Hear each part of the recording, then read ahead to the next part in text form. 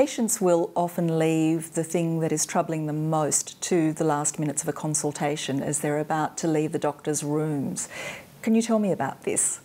Several studies have been have shown that, that uh, patients save the most critical item on their agenda uh, and actually drop it just as they're leaving, which is uh, very difficult for doctors because if it's something like, for example, I haven't been able to go to the toilet for the last four days, the doctor needs to know about that well ahead of time so that they can uh, can actually investigate and find out what the problem might be. So often it's because of embarrassment. Uh, about raising an issue, it's because the patient is frightened of what that symptom might present.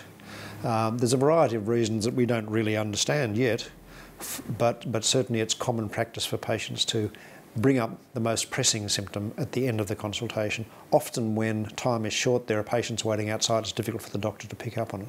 How can we get around this problem? What you're talking about is improving the efficiency of a consultation so that both doctor and patient agree on what are the important issues and they're discussed up front. One really uh, powerful study that we published uh, involved giving patients a set of questions they might like to ask their doctor. So these are generated by discussions with patients by research.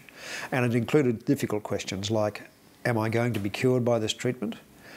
Uh, will I, uh, is there a way in which I can think or behave or feel about cancer that actually is protective and prolongs my chances of survival? Um, when you uh, uh, give patients the opportunity of thinking about those questions and then presenting them to the doctor, we know that the doctor addressing those up front of the consultation doubles the amount of information patients remember later. It reduces their anxiety by almost a third.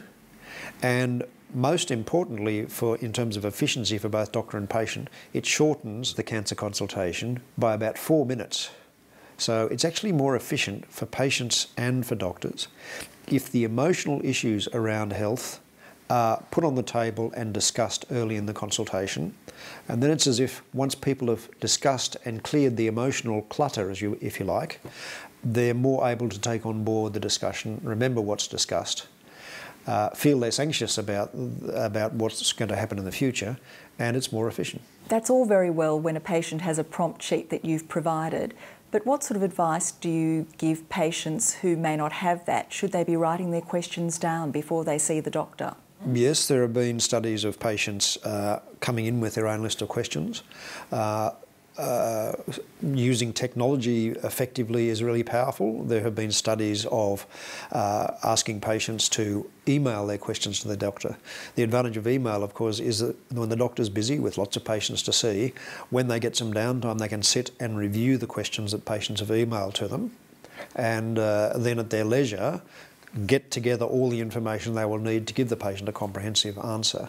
So emailing is a demonstrated way of getting a much clearer uh, and satisfying outcome for everybody involved in the consultation.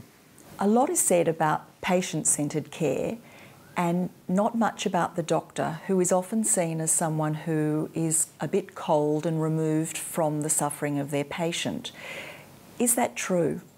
You know, at the, at the moment we're interviewing applicants for admission to the medical program, and they're all delightful, warm, compassionate people.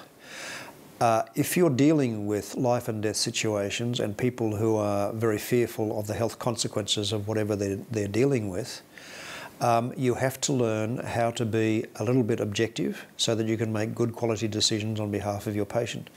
If you become so emotionally invested with the patient that you're incapable of making good quality decisions, you're not helping. Um, we've been recording uh, heart rate and skin conductance. So we wire surgeons, consultants, and registrars up and measure their heart rate whilst they're telling a, a patient, uh, an actor playing the role of a woman, that her husband has just died. And clinicians' heart rate increases by 40% in that situation.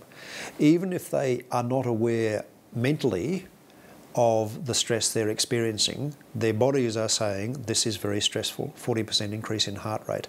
And if you're telling a woman that her husband has just died, the doctor's heart rate stays elevated all the way through until they actually say the words, he has died or he has passed away. Some doctors find that incredibly stressful, so much so that they can't bring themselves to say the words. And you see the elevation in heart rate for minutes, minutes afterwards. In fact, the longest we had was about eight minutes before a doctor could bring himself to say, Your husband has died.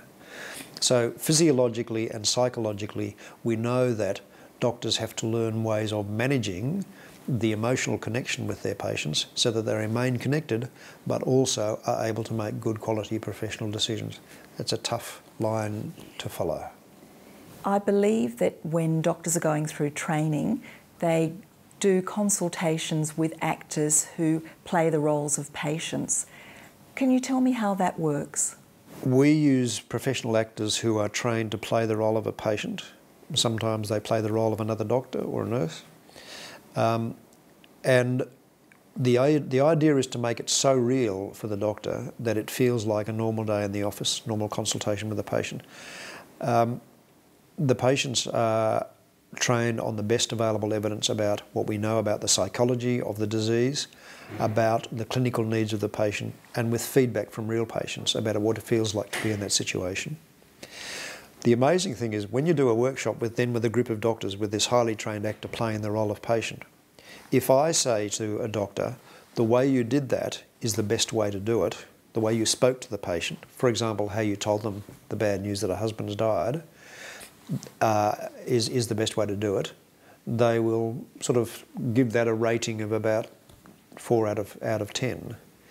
If I say there have been randomised clinical trials that show that the way you just did it is the best way to do it, they might give that a rating of about six out of 10. But if the patient, if the actor patient says, I love the way you just did it, they give that a rating of 8, 9 out of 10.